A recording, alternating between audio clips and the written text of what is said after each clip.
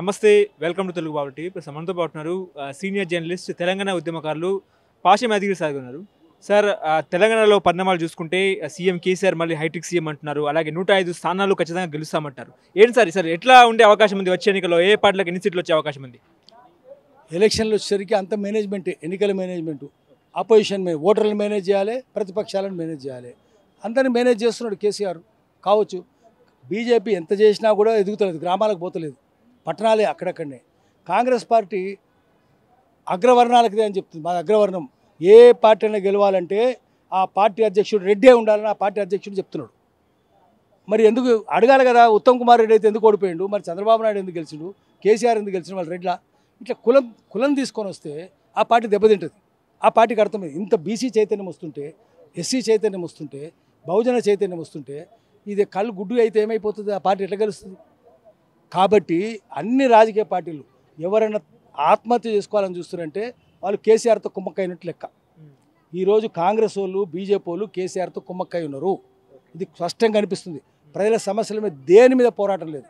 పోరాటం లేదు అని అంటే అర్థం ఏంటంటే పోరాటం లేదంటే ఆరాటమే ఉంది. సొంతం కోసమే సొంత లాభం కోసమే ఆరాటం ఉందని లెక్క.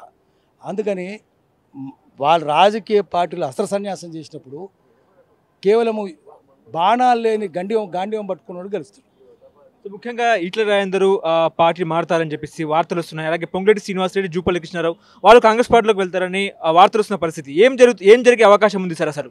ఇవి ఇట్లాంటి వాటి మీద వ్యాఖ్యానాలు ఉండొద్దు. ఎందుకంటే ఇది రోజు జరిగే తమాషా. రోజు జరిగే తమాషాకు చప్పట్లు ఉండవు. రోజు జరిగే విషాదానికి కన్నీళ్ళు ఉండయి. రోజు ఇటు నుంచి అటు అటు నుంచి ఇటు మామూలే ఇది. ఏ చెట్టు ఏ కొమ్మ మీద పండు ఉంటే ఆ కొమ్మ ఇది కొద్ది దూకుతుంది. జిదర్ హరి ఉదర్ జిదర్ చరి. ఎక్కడ పచ్చకుంటే అక్కడ మేయడానికి పోతాయి పశువులు. రాజకీయ నాయకులు కూడా అంతే. ఎక్కడ పచ్చకుందో చూస్తున్నారు. ఇక్కడ ఏమి లేదనుకోండి శ్మశానం అనుకోండి ఎందుకు పోతారు అక్కడికి? అంటే బీజేపీలోకి ఎందుకు పోవట్లేదంటే బీజేపీ చేతకాంతనము బీజేపీలో ఉన్నోళ్ళు కూడా బయటకు ఎందుకు పోవాలనుకుంటున్నారంటే బీజేపీ నిష్క్రియాపరత్వము. ఢిల్లీ ఉన్న వాళ్ళకు కాంగ్రెస్ వాళ్ళకి కావచ్చు బీజేపీ వాళ్ళకి కావచ్చు వాళ్ళు ఢిల్లీలో కూర్చుంటే యమున ఆవలేముందో తెలియదు తెలుసుకోవాలని కూడా కోరిక లేదు వాళ్ళకు. రాహుల్ గాంధీ కావచ్చు మోదీ కావచ్చు వాళ్ళకి ఏమీ తెలియదు ఢిల్లీ తర్వాత ఏముందో కూడా తెలియదు అందుకని తెలంగాణలో ఉన్న వాళ్ళు ఆంధ్రాలో ఉన్న వాళ్ళు వాళ్ళు భ్రమలు పోతున్నాయి. క్రమక్రమంగా భ్రమలు పోతున్నాయి. అది భారతీయ జనతా పార్టీ కనువిప్పు కావాలి.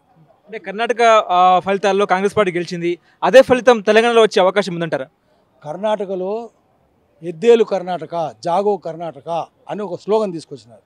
తీసుకొచ్చి మీరు హింద్ అయితే బీజేపీ హింద్ అయితే మేము అహింద్ అని చెప్పి మేము హిందువులు వ్యతిరేకమైన అహిందులం అని చెప్పి ఎస్సీలను ఎస్టీలను బీసీలను మైనార్టీలను ఏకం చేశారు అందరిని ఏకం చేసినారు. అట్లా ఏకం చేసే వ్యూహం ఏమన్నా ఉందా? ఇక్కడ ఎవరికి లేదు. కాంగ్రెస్ పార్టీకి లేదు భారతీయ జనతా పార్టీకి లేదు. రెండు లేదు. అక్కడ ఒక ఒక మొహం పోస్టర్ పెట్టినారు. పోస్టర్ మీద ఎవరి బొమ్మ ఉంది? సిద్ధరామయ్య బొమ్మ ఉంది. సిద్ధరామయ్య నీతివంతుడు.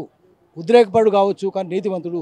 తిక్క మనిషి కావచ్చు కానీ ప్రజల పక్షపాతి అని ఒకటి ఉంది అక్కడ జనంలో. తిక్క మనిషే కానీ ప్రజలతోటే ఉంటాడు అని ఉన్నది అట్లాంటి బొమ్మ ఒకటి పెట్టాలి. నిజాయితీ పరుడైన బొమ్మ పెట్టాలి.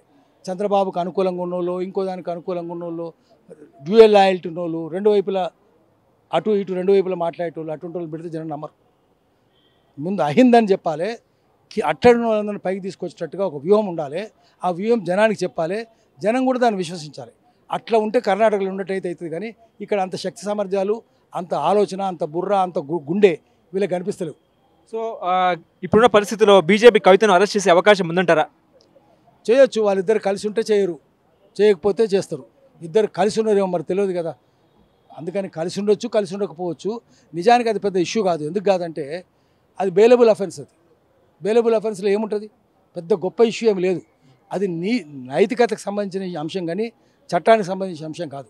ఎందుకు కాదంటే బై బెయిల్ వచ్చేస్తుంది బయటకు వచ్చేస్తుంది. వాళ్ళ భయం ఏంటంటే పెట్టిన వెంటనే బయటకు వచ్చేస్తుంది.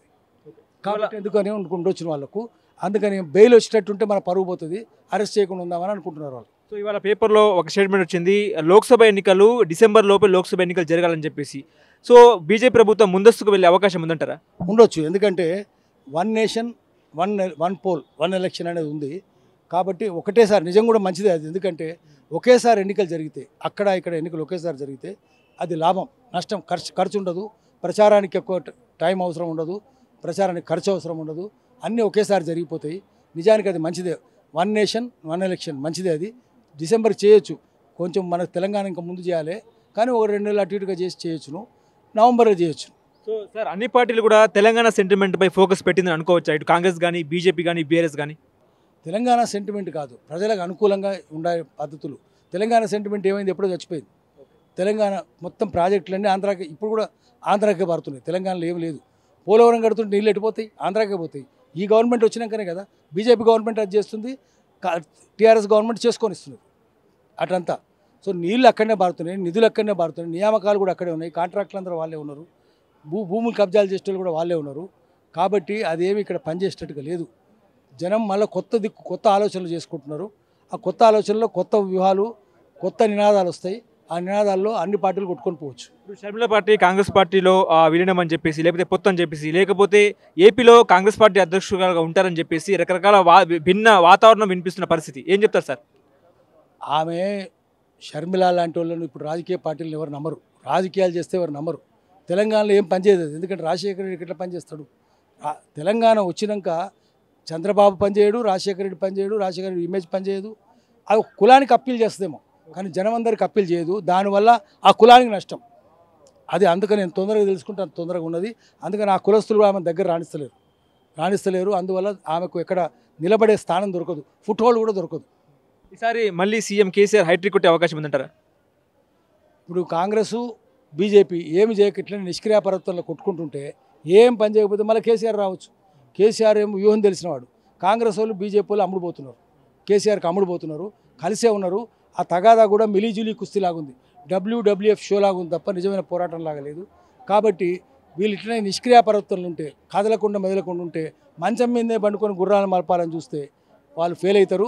కేసీఆర్ విజయం సాధించవచ్చు సో ఇట్లా అధ్యక్షతన ఒక కొత్త పార్టీ ఏర్పాటు చేసే అవకాశం ఉందని ఇంకో స్పెక్యులేషన్ జరుగుతున్న పరిస్థితి. ఏం చెప్తారు సార్?